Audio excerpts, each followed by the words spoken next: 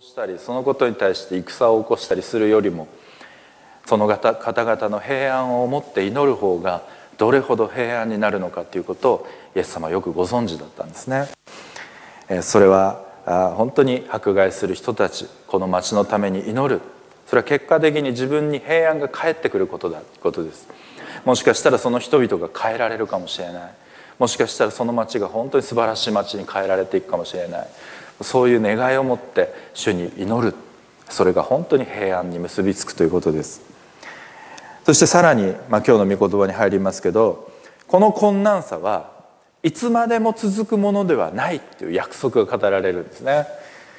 バビロンに70年の時が満ちたなら私はあなたたちを顧みると、えー、イスラエルの人たちは何も悪さしてないのにバビロニアに連れ去られたんでしょうか。もしそうだったら本当悲劇的ですよね。でもそうではありません。神様は私があなたたちを送ったとか私が追いやったって言ってますよね。ですから彼らがバビロニアにいるのは神様の御業だったんです。この困難は神様の御業だったわけです。じゃあなぜこんなと困難に彼らは出会わなければならなかったのかそこに送り込まれる必要があったのかちょっと考えてみたいんですけど実は彼らは神様から離れて不信仰の中を歩んだ経験を持ってました。何度も何度も預言者が来て「立ち返りなさい。誠の神様を礼拝しなさい」と言っても一切聞かずに他の神々を礼拝してみたりその預言者を殺してみたり本当に不信仰だったんですね。それゆえに他の国々を起こして神様は人々を連れ去っていったんです。でもただ苦しみを与えるだけがその神様の願いだったんでしょうか。ダメでしょう。鞭打つだけじゃないんですね。神様はきちんとした計画をお持ちの方なんです。ただ懲らしめて終了じゃないんです。この懲らしめにも意味があるんです。じゃあこの神様のお立てになった計画とはどんなものか。それはこう書いてあります。平和の計画であって災いの計画ではない。将来と希望を与えるものである。なんですよね。別に苦しめたいんじゃないんです。でもそれその困難の中で知ってほしいことがあるんです、まあ、計画っていうぐらいですから、まあ、計画のには絶対ゴールがあるわけですよね。でこの場合だったらエルサレムにまた再び帰ることができるっていう70年後がゴールなわけです。でこそゴールが決まってるわけです。私たちと一緒です。三国に帰る日が決まってるんです。それは神様のみがご存知ですけど帰る日ゴールは私たちは決まってるわけです。でもその計画を進めていく中である時は左にそれてみたり右にそれてみたりいろんなことが起こるわけですよね、えー、大きな計画のゴールに向けて小さな計画があり小さな目標があるわけです。それと同時に主もそのような本当にエルサレムに帰還する70年っていうその 70, 70年の道のりの中で何かをこのイスラエルの人たちに伝えたい。分かってほしい知ってほしい。その計画が一つ一つそれぞれにあるということ。それを主は言ってるんですね。それを見てく見せてくださる。何て言ってるかというとその時あなたたちが私を呼び来て私に祈り求めるなら私は聞く。私を尋ね求めるならば見いだし心を尽くして私を求めるなら私に出会うであろうと主は言われる。その行った先で、まあ、礼拝ができない悲しんでる人たちそれからもう戻れない躍起になって、えー、もう自暴自棄になってもう死んでもいいもう玉砕だなんて言って政治運動をしようとしてる人たちに対して私のところに来なさいともう一度来なさいと求めておられるんですね。なんか外国に行ったから礼拝できないんじゃない。これは本当に画期的なことです。これは新約聖書で実現する出来事ですよね。ここでもあそこでもない。その本当にそういう日が来る。あの神殿でこの神殿でとかじゃない。本当にどこでも主を賛美し主を礼拝する日が来るとイエス様は、えー、井戸の前で女性にそのようにお話になりました。今その時代ですけど旧約の時代にそのことがすでに言われてるもうイスラエルの神殿ありきなんですよ礼拝っていうのは。でもそれがなくても私に祈り求めるために来なさい。尋ね求めなさい。え心を尽くして追い求めなさい。って言ってるんですね。そうすると必ず出会う。見出す。そういうふうにおっしゃってるんです。だからイスラエルのために必要だったのは必ず帰ることができるんだというこの希望。それから主なる神様を見いだす。これなんですね。実はイスラエルのために決定的に欠けてたのは絶望から立ち上がろうっていう気力じゃなくて戦おうっていう姿勢でもなくてただ主を心から求めていくっていう信仰だったんです。彼らは不信仰のゆえに困難さに陥ってたんです。ですからその困難さの中でも素晴らしい豊かな出会いが主と出会いがあり本当に町に平安を求めるその中で自分にも平安が返ってくるというその素晴らしい生涯がそこにもあるということを教えたかったんじゃないかなと思うんですね。だって皆さん考えてみてください。もし私ぐらいの人がこの御言葉聞いたらどうでしょう。70年の後に帰れます。と言われたら私は最近44歳になりましたので、えーね、114歳にならないとエルサレム帰れない。もう医療頑張れと祈るしかない スタップ細胞でも何でもいいからもう会ってくれってねもう本当にそうなってくるわけです。でもそうじゃない。戻ることだけが全てじゃない。本当にヘブライの手紙にも書かれているようにその人たちは見ることができなかったけれどもはるかにそれを仰いで喜びに満ちてたと書かれているように信仰を持つならばもし自分たちがそれをもう本当見たいなと思うことが必ずしも叶えられなかったとしてもその小さな計画の中での大きな神様との出会いを重ねていくことによってああこの方は私を70年後のその素晴らしい栄えを見せなかったとしてもそれに匹敵するような素晴らしいものを用意して待っておられる方なんだということを経験させてくださるというそういうことを書いてるわけです。でなければ困難の中で70年先ですって告げられたらどれほどの人が落ち込んだと思います？ああ見れないわって。でもそうじゃないんですね。神様が言いたいのはあなたたちに足りないのは信仰の世界を歩くということなんだということを教えてるんです。えー、私もそれを訓練された時がありました、まあ、今でも訓練されてますけど、えー、実は私はあの同志社大学に入るそののが決まったのはね実は12月なんですね。で合格の通知が来ました。でそれからまあ3月には京都に移ることになってたんでしばらく期間があったんで、えー、バイトしようと。バイトが大好きだったんですよ。本当に。もう暇さえあればバイトしたくて。でもさまざまなバイトをしてきました。それについてはどうぞ個人的に聞いてください。本当にいろんな種類のバイトしてきました。もうそれだけで義塾の授業1年間できるんじゃないかってぐらいバイトしてきましたけど、えー、その一つです。で今回は初めて主を信じた後バイトをすると。もう盛り上がってるわけですよこっちも。さあ主はこの今までのバイトと全然違う。これからこのバイトでは主は何を見せてくださるんだろう。もう踊り上がって喜んで。でバイトの雑誌を見てですねよしやったことのないことにチャレンジしようと思ったんですね。アブラハムのようにもう燃えているわけです。私の示す地に行きなさい。どこですか？主よそれは。それは東京のとある展示場の地下にあるレストランである。そうですか？主よ。そこに行けばいいんですね。って言ったんです。もう初めてだった。レストランのキッチンに入るっていうのは。でも料理別に嫌いな方じゃないんでよしキッチンで。最後働いてそして主に仕える人々に仕える道に進もうと思って行ったんですよ。1ヶ月の短期間のバイトでした。で今はもうこのお店ありません。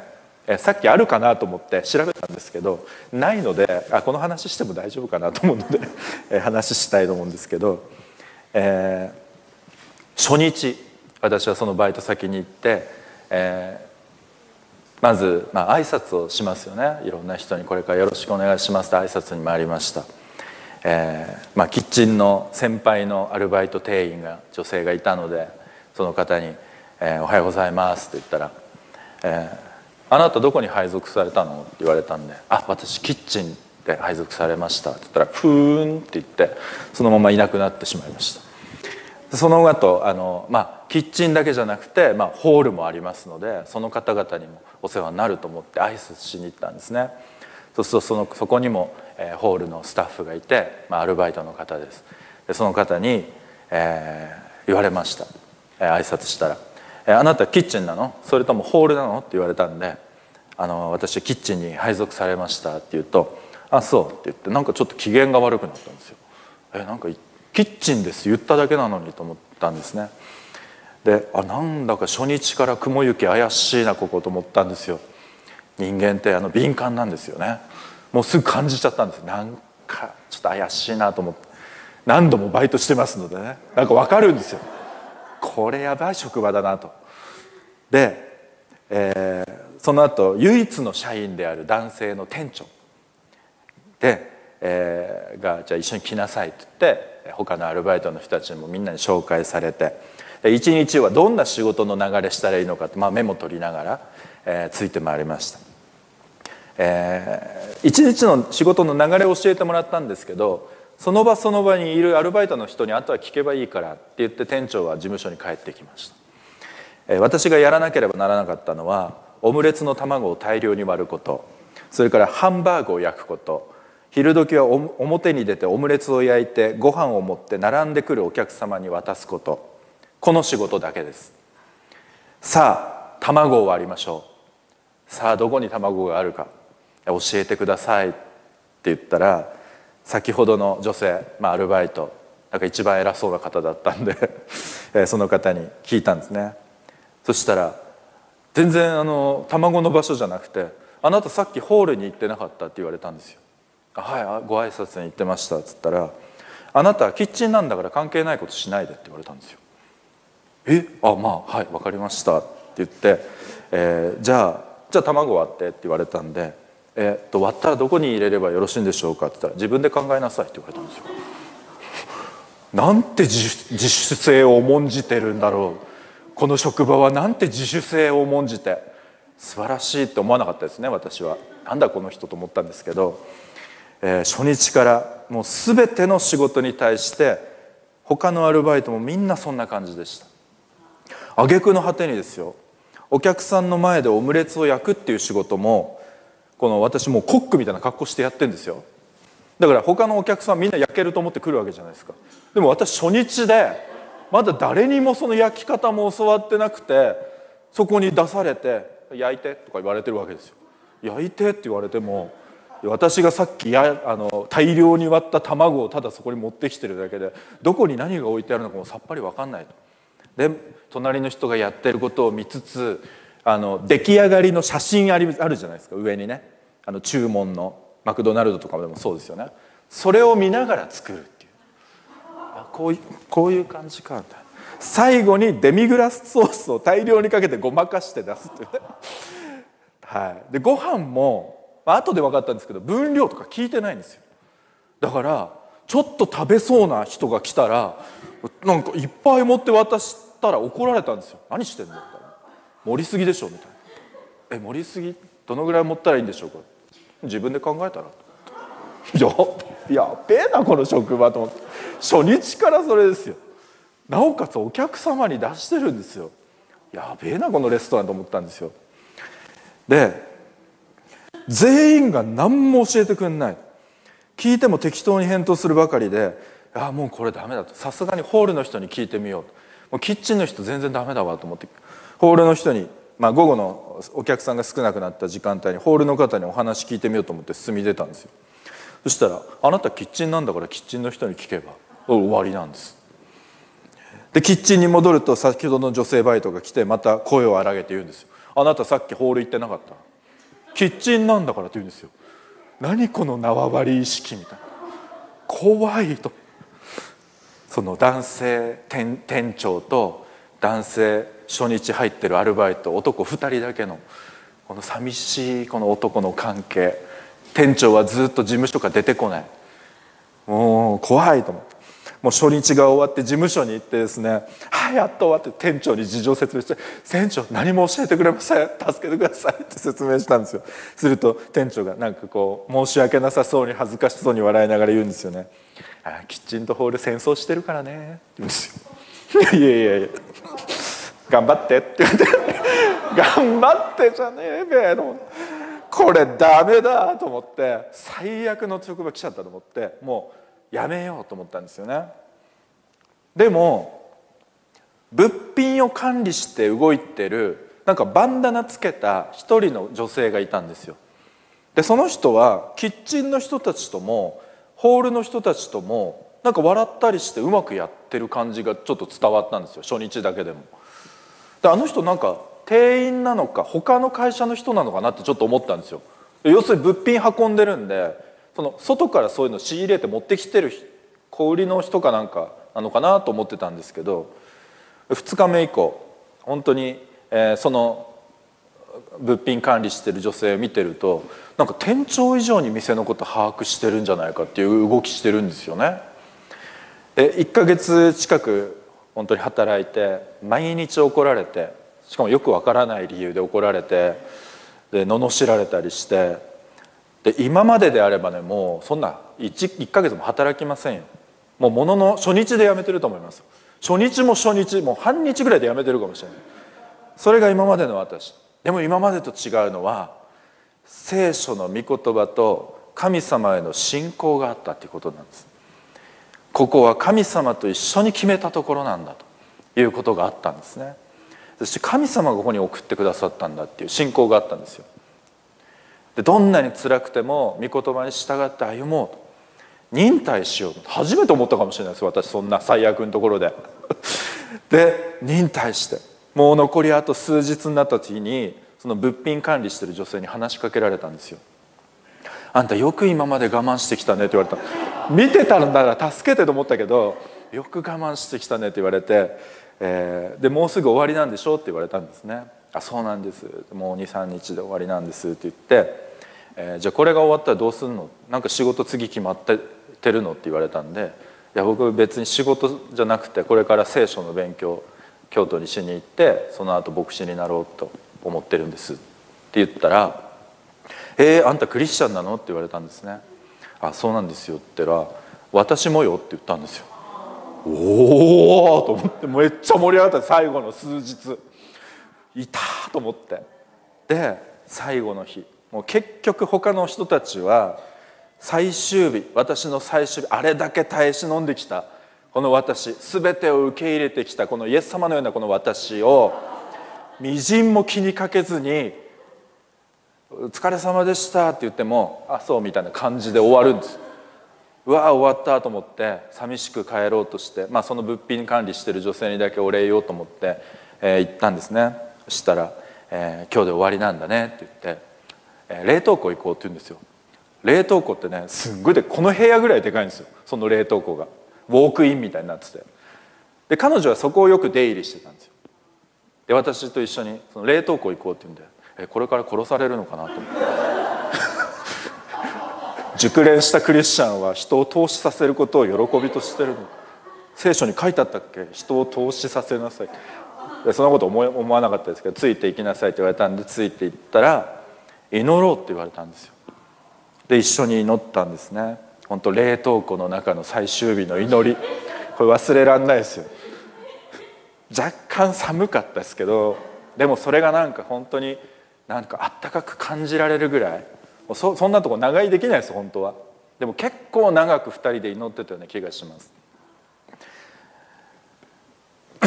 本当に最後にそしてこの女性だけが店長も出てこないですからね。最後にこの女性だけが私の肩叩いて応援してるよって言って店の外に送り出してくれました、えー、本当にまあ、迫害と絶望的な困難さの中になったイスラエルの人たちとはもう比較にならないレベルの軽さですけどでも、えー、私にとってはその困難がまさに異教の地に行ってそのルールに従わなければならなくてなんで自分がそんなことしなきゃいけないのかも分からずに本当に苦しんだんですね。でも、えー、その場所で聖書の御言葉を信じ続けて忍耐していくことを本当に訓練されたと思います。えー、今までだったら本当やめてました。でもここで神様が何かしてくださるはずだっていう信仰がやっぱりあったんですね、えー、困難の中で本当に信仰を捨てて祈ることもやめてまたその逆にこの町を全て破壊するような活動をしている。そういう人たちにエルミアを通して神様が語られたことと一緒のことを学んだんですね、えー、そして、まあ、私は祈り続ける訓練されたんですけどでも主は私が祈り始める前からそういう助けておいててくださったんですよね。別に私が入って後からその人来たわけじゃないんです。主はそういう場所に私を追いやってくださったんです。そして、えー、最後の最後本当最終日。そういう素晴らしい送り出し方させていただいて今ここがあるなと思うんですね、えー、困難のだから中だからこそ神様を信頼して祈り続けて迫害する者のためにこそ祈ると、えー、そのように生きるそうするならば必ず生きて働く主がその姿を表してくださるということを本当に体験しました。それこそが平安への唯一の道である。そのようにエレミアを通して語られています。イエス様ご自身もそうでした。本当十字架の上でみんなから罵られて何も悪いことしてないのに十字架の上で苦しみも吐露されました。なぜお見捨てになったのですかと言われましたがそれは詩篇でした。その詩篇の行く月先は神様を賛美するそのような歌です。主はいつだってあの十字架の上でだって神様を信頼することをやめなかったんですね。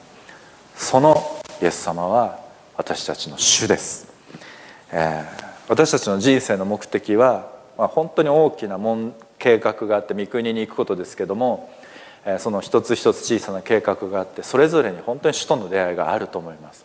それがもしかしたら困難を伴うものかもしれません。でもそれが解決することそれが神様が求めておられることではなくてその困難の中でも信仰を持って歩むことこそが私を見いだすことだということを教えてくれています。さあ皆さん今困難が与えられているでしょうか？そうだとするならば必ずそこであなたは主を見いだすことになるでしょう。一言お祈りします。神様ありがとうございます。本当にたくさんの困難がありました。これからもあるでしょう。しかしその困難のゆえにあなたに出会えることを心から感謝します。しかも私たちにはイスラエルのために70年後示されたあの約束のようにいつの日かあなたが本当に計画されているそのゴールである御国に帰るというその約束があることを心から賛美します。その約束を握りしめながら小さな小さな計画を忠実に歩んでいくことができるようにあなたの力を貸してください。助けてを与えてください。主よあなたの御言葉を与えてください。イエス様のお名前でお祈りします。アーメン。